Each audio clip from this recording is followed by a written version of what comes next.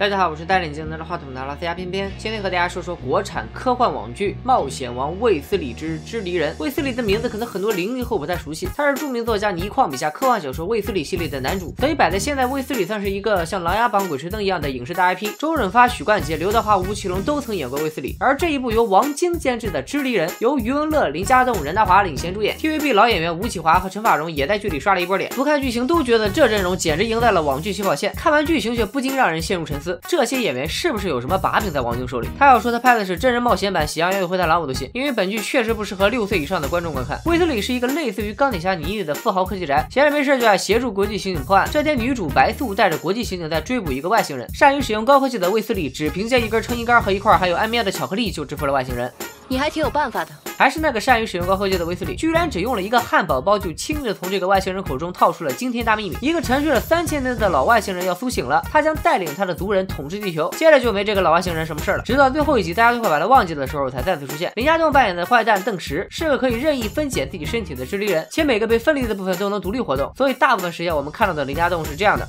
这样的。以及这样的，估计王晶当初是这么把林家栋忽悠过来的。我们的新剧能够三百六十度全方位无死角的表现你全身上下每个部位都能演戏的影帝特质，然后林家栋居然就这么信了。为了让自己的身体恢复原样，知灵人邓石一直在寻找一个具有神力的法老王头。故事背景介绍完毕，剧情就很简单了。卫斯理表妹被抓了，然后被救了。救他的人不是卫斯理，白素被抓了，然后被救了。救他的人也不是卫斯理，邓石和突然出场的反派罗刹被抓了，然后被救了。救他们的人还不是卫斯理，卫斯理和白素、邓石和罗刹情不知所起，一往而情深的恋爱了。最后大家一起干掉了黑化后同样想拿到法老王头的白老。大白素变成了不知道什么时候会苏醒的植物人，为第二季埋下了一个可能没什么人感兴趣的伏笔。明眼人都看出来了，余文乐扮演的卫斯理光顾着谈恋爱去了，和原著里牛到不行的那个卫斯理毛线关系没有。余文乐活生生把一个充满好奇心、不懂就问的大男孩演成了一个成熟稳重、事不关己、帅不死你的潮男。所以这部剧也可以叫做《花瓶王卫斯理之酱油人》。但这个名字监制王晶肯定不买账，因为人家王晶压根就没想拍卫斯理，他依旧延续了自己三十年如一日不变的情怀。管你什么作品，他都能给你拍出世界杯的质感。白素为了抓住邓石的断手，英勇献身；表妹为了救朋友，英勇献身；罗刹。为了救邓石，英勇献身。不过这样不能一概而论，万一是人家接了某品牌的内衣赞助呢？除了监制，王晶还在第一集里客串了一个外星人，这就引出了本剧另一个亮点，对推动剧情很有帮助的，比群演还龙套的国际刑警们。十几个国际刑警在追捕王晶，他惊慌逃跑的样子像个两百多斤的胖子。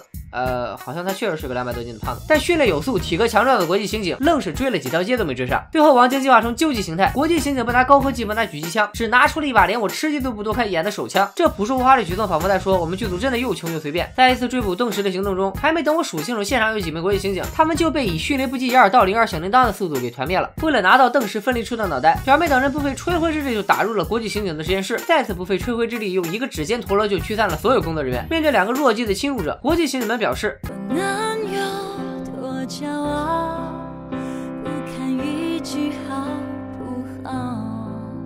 这么说吧，这一届国际刑警是我看过最和平友善的，就算拿显微镜都没看到他们用枪击中过谁。可能王晶也知道自己剧里的 bug 吧，所以在采访中特地强调了这一季他们用了三千六百个特效。为此，偏偏想说期待特效的观众就散了吧，因为他们砸重金做的特效是这样表现惊险的爆破场面的，是这样表现沙漠地标坍塌的，是这样表现高科技武器的，是这样表现金字塔里的神秘黑洞的。说到这个黑洞，它始终保持着神秘感，不像剧情那么没有悬念，因为就算偏偏十二集全部看完了，也不知道这是个什么玩意儿。他们进入的金字塔内部其实是个古墓版的密室逃脱，有华容道，还有蝎子王。酷似一战到底的黑洞就是其中一个关卡，通关的要领你绝对猜不到，那就是猜出黑洞说出的脑筋急转弯，只有答对才能进入下一关，答错就会被他吸走，直接杀青。当年卫斯理的爸妈就是因为答错题才领了便当，换句话说就是笨死的。整部剧冗长又无味的铺垫了十一集，为的就是通过最后那场地球人大战外星人的戏，揭秘智利人是怎么诞生的。原来三千年前高科技傍身的大 boss 不小心落入人间，为了回到自己的星球，只能求助埃及土著法老王，让他帮忙扭动眼前的三个盒子。第一个盒子能让大 boss 沉睡，第二个盒子能冻结大 boss，第三个盒子。则能通过分子分离技术把它传输回母星。最后法老王没有扭下最后一个盒子，大 boss 一直被封印到现在。最后一个盒子也成了能让人变成智力人的诅咒。你说你连分子分离技术都掌握了，为啥不做个全自动传送机？最关键的步骤还要靠人类帮你手动完成，是几个意思？但是不要在意这些细节，毕竟三千年过去了，大 boss 的星球还是没有研究出全自动传送机，所以他要求卫斯理扭动盒子把自己送回母星。卫斯理怎么可能这么听话呢？最后大 boss 卒，死于不长记性。除此之外，这部剧本身还有很强的教育意义，比如卫斯理的朋友就曾说过，地球上每一百个人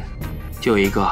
很可能是外星人。如果不看这部剧，你不会知道原来地球上有七千两百万个外星人。再比如邓石和罗刹谈恋爱，最后他们一个为了消灭大 boss 挂了，一个被白老大爆了头。卫斯理和白素谈恋爱，最后白素成了植物人，只有卫斯理因为是主角幸免于难，说明还是做单身狗比较安全。到这也吐槽的差不多了，偏偏相信每一部影视作品的存在都是有它一定道理的。比如这部《冒险王卫斯理之智利人》，是为了让我们怀旧再去刷一遍周润发版的《袁振侠与卫斯理》，许冠杰版的《卫斯理传奇》，刘德华版的《卫斯理之蓝血人》，吴奇隆版的《冒险王卫斯理之少年王》。今天就说到这里吧，拜了个拜。